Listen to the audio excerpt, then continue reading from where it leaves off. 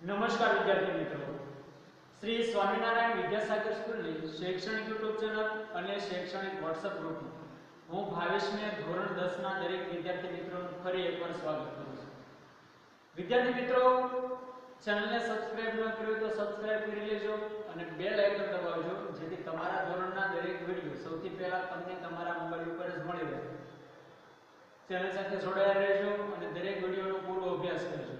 Video પસંદ આવે તો એને લાઈક પણ કરજો. આજે આપણે માતૃભાષા વિશે ગુજરાતીમાં વ્યાકરણના એક નવા મુદ્દાની વાત કરવાના છે.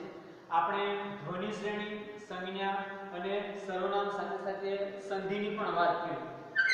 આજે આપણે એવો જ એક નવો મુદ્દો સમાસની વાત કરવાના છે.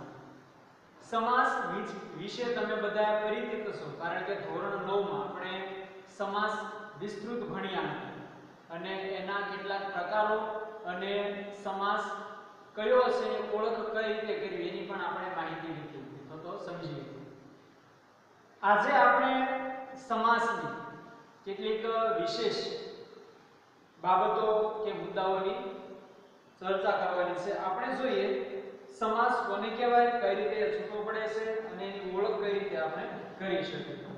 પાઠ્યપુસ્તકના પેજ નંબર 32 ઉપર આપણને સમાસનો એક મુદ્દો આપ્યો છે, એના આધારે જ આપણે આગળ વધીએ.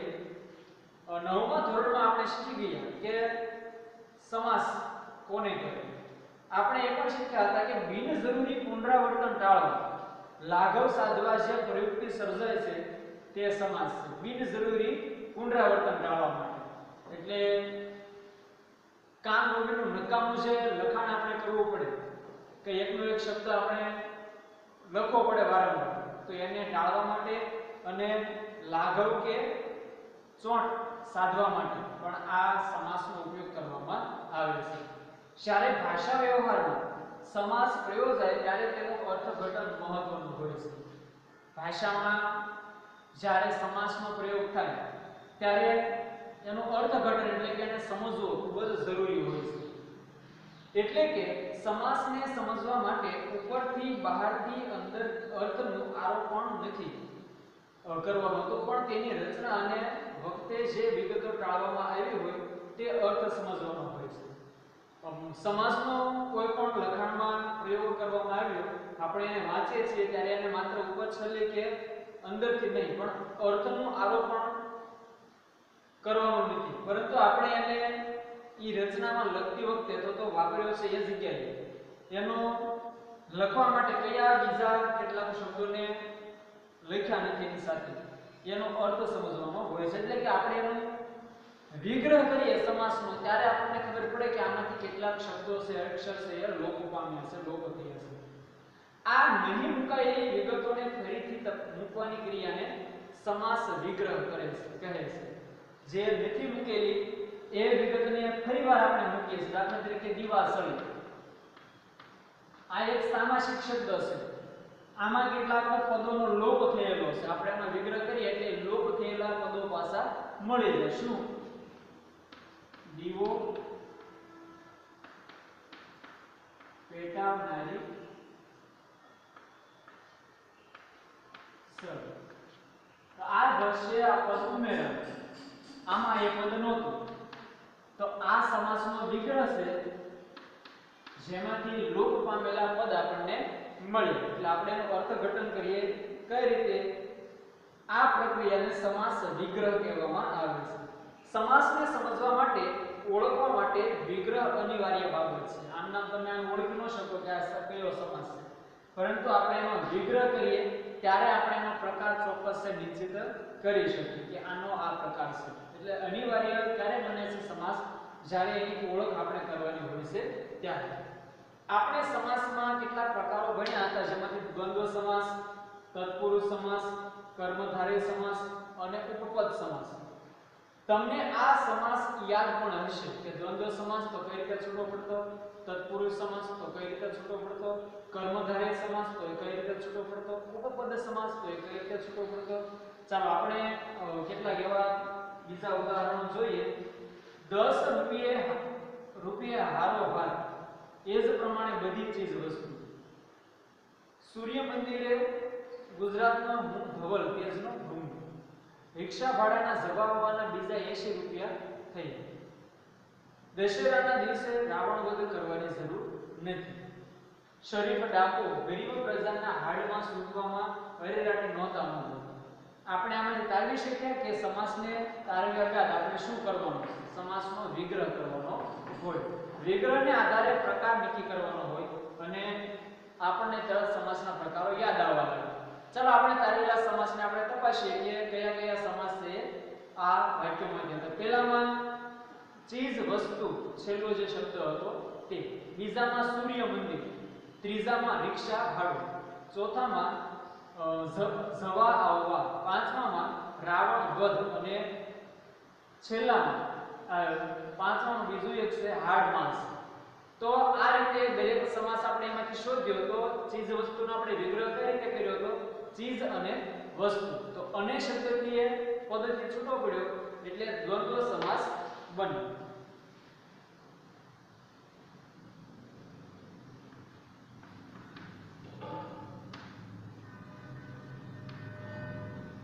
દ્વંદ્વ સમાસ અને પદથી છૂટો પડે છે બીજામાં સૂર્ય મંદિર તો નું સૂર્યનું મંદિરનું ની નો ના આ બધી વિભક્તિથી જ્યારે છૂટો પડે ત્યારે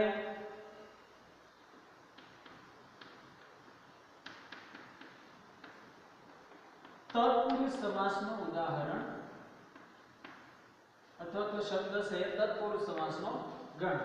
પછી રિક્ષા ભાડું. તો એમાં જો નું મળ્યું એમાં પણ એટલે આપણે આ પણ તત્પુરુષ સમાસ એવું માનવાનું. જવા આવવાના, જવા અને આવવાના, અને થી છૂટો પડ્યો તો એ દ્વંદ્વ સમાસ પછી રાવણ વધ, તો રાવણ નો વધ. તત્પુરુષ સમાસમાં વિભક્તિ બધી છે. નોની, નુના, તો એના કારણે તત્પુરુષ સમાસનું ઉદાહરણ બને હાડ માંસ, હાડ અને માંસ, એટલે હાડકા અને માંસ, તો અનેક છૂટો પડે એટલે દ્વંદ્વ સમાસ ગણ હવે સમાસ તારવીને આપણે ઓળખી શકીએ ને? તો ચાલો આપણે નીચે કેટલાક વાક્યો આપ્યા એને પણ એવી રીતે છૂટા પાડીએ જે વ્યક્તિ દાવ પેચ રમે અને છળ કપટમાં રાચે, તેનું શરીર સાવ નિરોગી ન રહી શકે.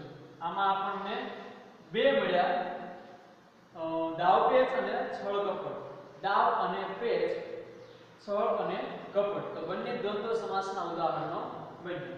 ભણેલા લોકો ખાવા પીવામાં અભણની માફક વર્તે છે. ખાવા અને પીવામાં. ખાવા પીવા શબ્દ આપણે ગોત્યો, તો એ પણ દ્વંદ્વ સમાસનું ઉદાહરણ બને તો આ બધા જે વાક્યો છે, દ્વંદ્વ સમાસના ઉદાહરણ છે. ત્રીજા વાક્યમાંથી દાળ અને ચોખા ચોથામાંથી ભણવા ગણવાની અને પાંચમામાં થોડું ઘણું. તો આ રીતે આપણે સમાસ દ્વંદ્વ તરીકે કયો હોય, જે અન્ય પદથી છૂટો પડતો હોય તે. હવે આપણે કેટલાક બીજા ઉદાહરણો જોઈએ. જે વિભક્તિથી છૂટા પડે છે, નોની, નુનાથી. શ્રી વીરચંદ ગાંધીનો દેશપ્રેમ તેમની વાતોમાંથી ઝળકતો હતો. દેશ પ્રેમ. તો દેશ માટેનો પ્રેમ. તો નો પ્રેમ. એટલે વિભક્તિ નો છે તો તત્પુરુષ સમાસ બને. બીજામાં ઋણ મુક્ત ઋણમાંથી મુક્ત. એટલે તત્પુરુષ સમાસ. મન ગમતું એટલે મન ને ગમતું. તો ને એટલે તત્પુરુષ સમાસ. સ્વર્ગ સ્વર્ગવાસ. તો સ્વર્ગમાં વાસ નો ની નુના ઉપરાંતમાંથી માન ઉપરાંત માટેનો તો આ બધા તત્પુરુષ સમાસના પદો છે, જેના દ્વારા એ શબ્દ છૂટો પડે છે. પ્રયોગશાળા, પ્રયોગ માટેની શાળા તત્પુરુષ સમાસની, એટલે ગણી લેવાનું. હવે આપણે આની સિવાયના કેટલાક શબ્દો જોઈએ, એનો વિગ્રહ કઈ રીતે થાય? ખાદી ભંડાર. તો ખાદી નો ભંડાર. તો નો આવ્યું? ભાડા ખત, ભાડા નો ખત. કન્યા કેળવણી, કન્યા માટેની કેળવણી. મિલ મજૂર, તો મિલ નો મજૂર. મૂડી રોકાણ તો મૂડી નું રોકાણ. હવે આપણે આ ખાદી ભંડાર શબ્દ ખાદીનો ભંડાર તો આપણા મનમાં કેટલાક એના વિશેના ખ્યાલો આવે કે ખાદીનો બનેલો ભંડાર ખૂબ ખાદી જ્યાં ભેગી કરવામાં આવી છે તેવો ભંડાર અને ખાદીનું વેચાણ કરતો ભંડાર. તો આ, આવા વખતે આપણે શું કરવાનું? આપણને આ શબ્દનો અલગ અલગ વિગ્રહ આપણે કર્યો ત્રણ રીતે. તો એમાં ત્રણેયના પ્રકારો અલગ અલગ બને. તો આવું થાય ત્યારે આપણે શું કર્યું કરવું પડે. તમને કયા વિકલ્પનો અર્થ વધુ યોગ્ય લાગ્યો? આપણે ત્રણ કર્યા એમાંથી, બરાબર? ત્રીજો છે એ યોગ્ય હતો કે ખાદીનું વેચાણ કરતો ભંડાર. એટલે કે જ્યારે તમે ખાદીનો ભંડાર એમ શબ્દ બોલ્યા, ત્યારે તમારા મનમાં એક અર્થ છે એ ખરેખર આવેલો છે કે ખાદીનું વેચાણ કરતો ભંડાર. એટલે કે વિગ્રહ આપણો બદલાઈ ગયો. ખાદીનો તો બદલે ખાદીનું વેચાણ કરતો ભંડાર. પહેલી નજરે આપણને ખાદ્યનો ભંડાર શબ્દ છે એનો વિગ્રહ સાચો લાગ્યો હતો. પણ એ અધૂરો હતો. એટલે સમાસની દ્રષ્ટિએ છેતરામણી વાળો છે. એટલે ઘણીવાર એવું બને કે એકના બદલે બીજી રીતે પણ એ સમાસ છૂટો પડતો પણ આપણે જે પહેલી રીતે કર્યું એના આધારે આપણે કહી દઈએ કે તત્પુરુષ સમાસ છે, તો એના કારણે આપણો અર્થ છે, જવાબ એ ખોટો પણ પડે. જો તમે માત્ર નો, ની, નું માથી માટે વગેરે ઉત્તરો ઉમેરો, તો તત્પુરુષ સમાસ થાય પણ યોગ્ય અર્થ મેળવવા વિગ્રહ કરતી વખતે વચ્ચે અન્ય પદ ઉમેરવા પડે. તો એ સમાસને મધ્યમ પદ સમાસ કહેવાય. માત્ર નો, ની, મા અને માથે, માટે કે થી છૂટો પડે તો એ તત્પુરુષનું બને. પણ આપણે એનો અર્થ સમજવાનો છે તો આપણે વિગ્રહ કરતી વખતે એનું મધ્યમ પદ જે લોપ થયું છે એ ઉમેરવું પડે. કારણ કે આ સમાસની રચના કરવા માટે મધ્યના અને વચ્ચેના પદો હોય એનો લોપ કરવો પડે છે. ત્યારે એ સમાસ બનતો હોય છે. હવે આપણે બીજા કેટલાક જોઈએ. ભાડા ખર્ચ ભાડાનો ખર્ચ. એટલે ભાડાની વિગતો ધરાવતો ખર્ચ. કન્યા કેળવણી, કન્યા માટેની કેળવણી. એનો વિગ્રહ શું થાય? કન્યાને ધ્યાનમાં રાખીને અપાતી વિશિષ્ટ કેળવણી. મિલ મજૂર. તો મિલનો મજૂર. બીજો અર્થ એનો વિગ્રહ કેવો થાય? મિલમાં કામ કરતો મજૂર. તો આ રીતે એક જોઈએ તો એ તત્પુરુષ સમાસ બને અને એક રીતે જોઈએ તો એ મધ્યમ પદ લોપી સમાસનું ઉદાહરણ બને. મધ્યમ પદ લોપી એટલે શું? મધ્યમ એટલે વચ્ચેનું.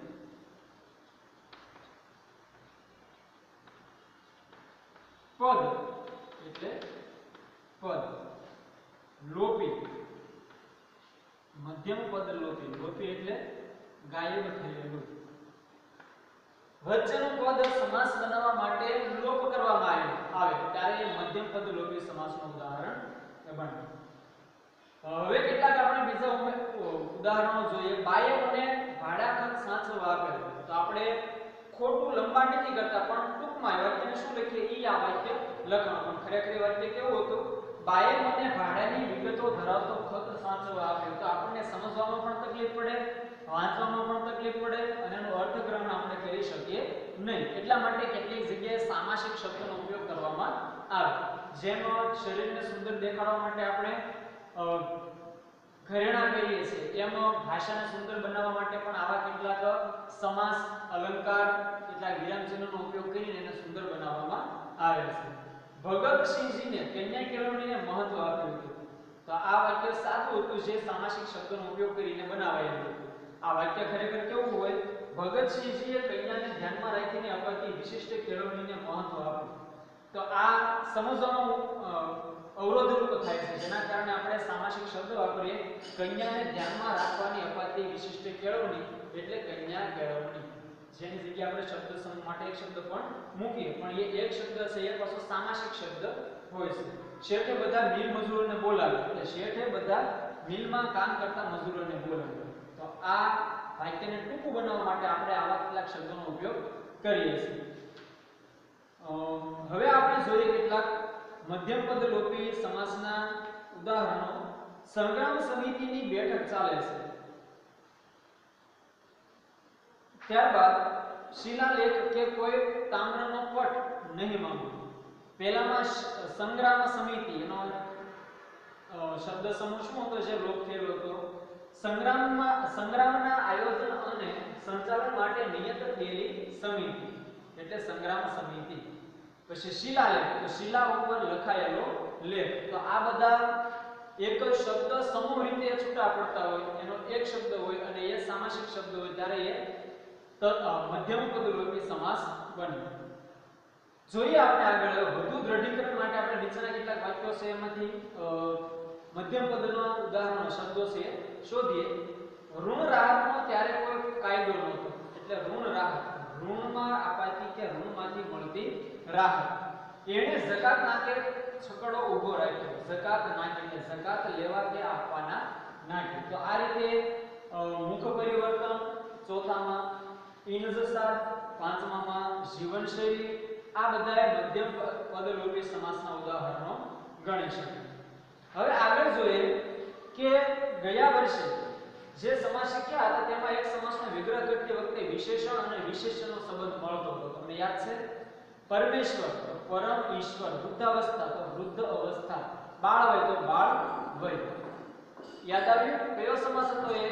એ હતો કર્મધારય સમાસ. આપણને એમ થાય એમાંથી અનેથી છૂટા પડતા પણ એમાં વિશેષણ અને વિશેષણનો સંબંધ હતો. અને વિશેષણ અને વિશેષ્ય કોને કહેવાય? એની આપણે પહેલાના તાસમાં જ વાત કરી ગયા છે એટલે વિસ્તૃત એની માહિતી મેળવવાની. આ સમાસનો પણ એક પ્રકાર છે.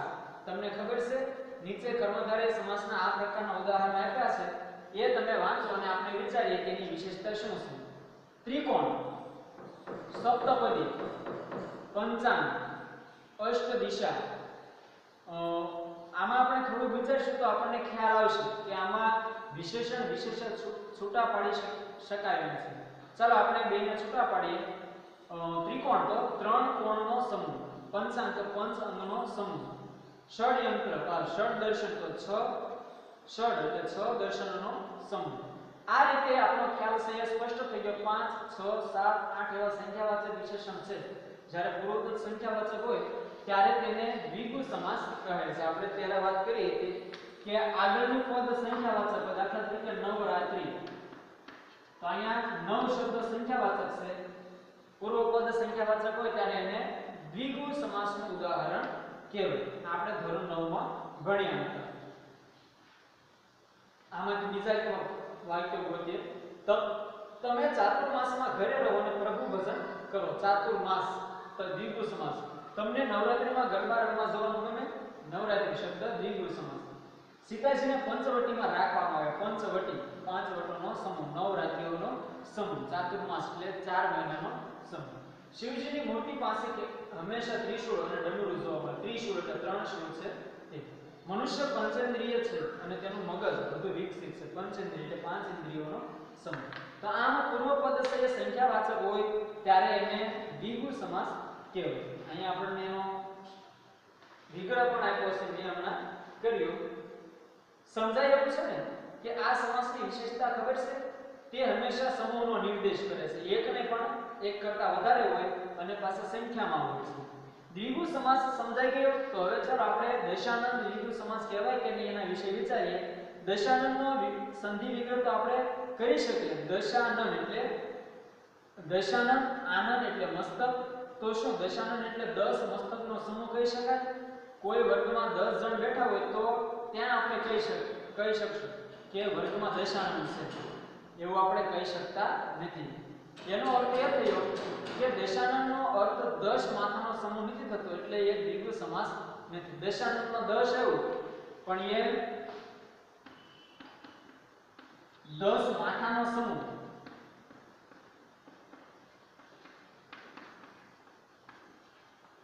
એવો વિગ્રહ થતો નથી. કોઈ છોકરા દસ ક્લાસમાં બેઠા હોય તો આપણે કહીએ કે દશાનંદ બેઠા છે. તો 10 માથાનો સમૂહ બેઠો છે એવું નક્કી થાય. કહી શકાય નહીં. તો આ દ્વિગુ સમાસ નથી. ભલે આગળ 10 શબ્દ આવ્યો. કારણ શું? આપણે જોઈએ આગળ. દશાંશનો અર્થ 10 માથાનો સમૂહ નથી થતો એટલે એ દ્વિગુ સમાસ નથી. અર્થાત, જેનો પહેલો શબ્દ પૂર્વપદ સંખ્યાવાચક વિશેષણ હોય, તે બધા જ દ્વિગુ સમાસ હોય તે પણ જરૂરી નથી. એટલે આપણે આવું માની પણ નહીં કે બધામાં આગળનો શબ્દ સંખ્યાવાચક છે એટલે દ્વિગુ સમાસક હોય, કારણ કે એમાં વિશેષણ હોય તો જ હોય એવું નથી. તો દશાનંદ કહે તો તમારા મનમાં બીજો ખ્યાલ કયો આવ્યો? રાવણ. શા માટે? કારણ કે તમે એનો અર્થ સમજો છો. જેને 10 માથા છે તે, બરાબર? તો તમે જુઓ, અત્યાર સુધીના સમાસ કરતા હવે તમને કંઈક જુદું લાગ્યું. તમે જ્યારે ચીજ વસ્તુ સમાસ પ્રયોજો, ત્યારે સંદર્ભમાં ચીજ અને વસ્તુ બંનેની વાત કરો છો. તમે જ્યારે દેશપ્રેમી સમાજ પ્રયોજો છો ત્યારે તમને પ્રેમની વાતો છે એ કરી દેશના સંદર્ભમાં જ્યારે તમે દેશાંત કહો છો, ત્યારે ન ત્યારે ન દર્શની વાત છે, ન આનંદની, મસ્તકની વાત છે. આ સમાસને ઓળખવાની સૌથી સરળ રીત છે તેનો પ્રયોગ. આ સમાસ એવો છે જે હંમેશા વિશેષણ તરીકે જ આવશે. તેના ઉદાહરણ આપણે જોઈએ. આ સમાસ કયો છે? એની ઉદાહરણ સહ માહિતી મેળવીએ. આ હંમેશા વિશેષણ સાથે હોય, એટલે સંખ્યાવાચકના વ્યંગમાં આપણે એને દ્વિગુ સમાસ લખી નકાય નહીં, પણ એમાં વિગ્રહ છે આ રીતે નહીં, પણ એક અલગ રીતે થાય છે. એ રીતને આપણે જોઈએ અને એના આધારે એનો પ્રકાર છે આપણે જોઈએ. એ જ વખતે ધોધમાર વરસાદ તૂટી પડ્યો. વહાણમાં છ, સાત બંદર, બંદૂકધારી આરબો હતો. મેદનીએ ગગન ગગનભેદી ના નીકળ્યું. તો આ બધા સમાસનો વિગ્રહ પણ આપણે કરી શકીએ, ધોધ જેવો માર બંદૂકને ધરના, ધારના, ગગનને ભેદના. અર્થાત કે તત્પુરુષ ઉપપદ કે કર્મધારય જેવા આ સમાસ લાગે, પણ તમે એનો પ્રયોગ જુઓ. ચિંતા તો તો ચિંતા ચિંતા તો નજર. બંદૂકધારી કે બંદૂકધારી આરબ ગગનભેદી કે ગગનભેદી ના. આમ આ બધા પ્રયોજનો સમાસ. અન્યનું વિશેષણ છે. બંદૂકધારી હતો તો એ ધારણ કરનારનો વિશેષણ હતું. અને આ સમાસ પ્રયોજાયા વિના પણ વાક્ય પ્રયોગ થઈ શકે છે. દાખલા તરીકે, એ જ વખતે વરસાદ તૂટી પડ્યો. એટલે ધોધમાર કાઢી નાખીએ તો પણ આપણે વાક્ય પ્રયોગ તો બરાબર કરી શકીએ અને અર્થ પણ આપણે સ્પષ્ટ કરી શકીએ. વહારમાં છ, સાત આરબો હતા. બંદૂકધારી નહીં, પણ આરબો હતા. મેદનીએ ના દીધું અર્થાત આ સમાસ વિશેષણનું કાર્ય કરે છે. વિશેષણના અર્થને વધુ ચોક્કસ કરવાનું એટલે તેના અન્ય સમાસ સાથેના દેખીતા સામ્યથી મૂંઝાયા વિના તેના કાર્યને તપાસી તે અન્ય પદનું વિશેષણ હોય તો તેને બહુવ્રીહી સમાસનો પ્રકાર ગણવો જોઈએ. આ સમાસ કયો હતો? બહુવ્રીહી સમાસ. એટલે આ અન્ય પદ પ્રધાન સમાસ હોય કે વિશેષણને મહત્વ આપીને લખાયેલો હોય છે, પણ આ બીજાની વિશેષતા બતાવવા માટેનો શબ્દ છે. એટલા માટે અહીંયા કીધું 10 માથાનો સમૂહ, આ ખોટું છે. એટલે આપણે આનો વિગ્રહ શું કરીએ? જેને 10 આન એટલે માથા છે તે રાવણ. તો રાવણનું વિશેષણ બતાવવા માટે આપણે દશા શબ્દ દશાનન શબ્દ વાપર્યો. એટલે રાવણની વિશેષતા બતાવે છે. એટલા માટે આ બહુવ્રીહી સમાસનું ઉદાહરણ થાય. વિદ્યાર્થી મિત્રો, વ્યાકરણની બુકમાં લખવાની વિગત તમને પીડીએફ ફાઇલ દ્વારા મળશે. દરેક એમાંથી સારા અક્ષરે વ્યાકરણની બુકમાં લખી લેવાનું છે. વિડીયોને પૂરેપૂરો જોવાનો છે. ઘરે રહો અને સુરક્ષિત રહેવાના ઉદ્દેશ્ય સાથે ફરી મળીશું. દરેક વિદ્યાર્થી મિત્રોને મારા જય સ્વામિનારાયણ. આપનો દિવસ શુભ રહે.